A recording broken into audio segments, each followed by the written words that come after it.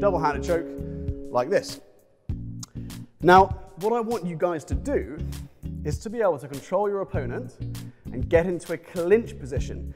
This is very, very similar to a clinch. The only difference is this, right? That's a clinch, that's a choke. This is a bit less comfortable, but really, this is more dangerous. I can easily be pulled down for a knee, right? From here, he can't really pull me down. So from my perspective, I'd rather be in this position.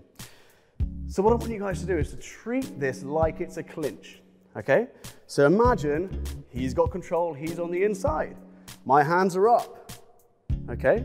A few different ways we can deal with this. First of all, pull, push, in, in, and now I've got control, okay? So one way we're getting control in the clinch. Another way here. From here, hands are up. One arm through the middle. Go for the elbow strike, right? And now I've got control. In I go. Another way we can get control. There's the choke. Hands are up. First principle, avoiding any strike. There could be a headbutt coming in or even an elbow strike. So we've got to make sure hands are up. One arm up. Grab. Now I've got control again. Okay, guys? Think of this as first things first, protect yourself. The next thing is to get control. So there's not much point from here, you know, before you even protect yourself, trying to do a strike. First thing is protect yourself. The second thing is get control. And now we can start to use our control to get an outcome, right? So let's think about how we can do that. I'll show you a few different examples, but ultimately at this level, I want you guys to be creative, okay? So from here, the choke comes in, protect myself, up, here, sweep. Okay, guys? Another one, here we go.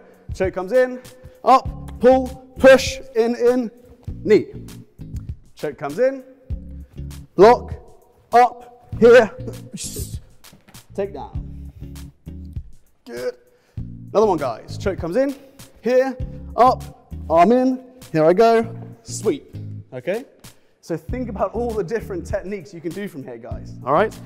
One thing I want you guys to get very, very good at from here, choke, up, getting into the clinch, however you're going to get into the clinch, and then turning them around, okay? And pushing away.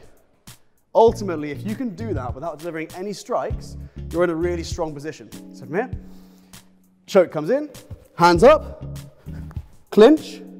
If you can get the other hand in even better, remember now we're going to pull and push, pull, push.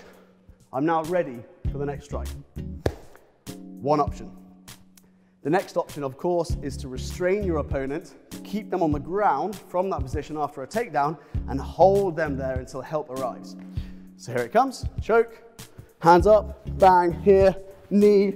You know, it's never gonna be static, you're always gonna be moving, but from here, there it is. Okay, from this position here, guys, I can put my weight on his back, I can even pull the arm back. I've got an arm bar here, okay? When you get up to black belt level, we'll teach you to throw the leg over and perform an armbar. But for now, just holding your opponent here until help arrives. If he tries to move, you know, you can put more weight down, you can start to pull the arm. There's a million things you can do to hold them there, guys. Restraining your opponent, keeping control without necessarily hurting them becomes really important. So.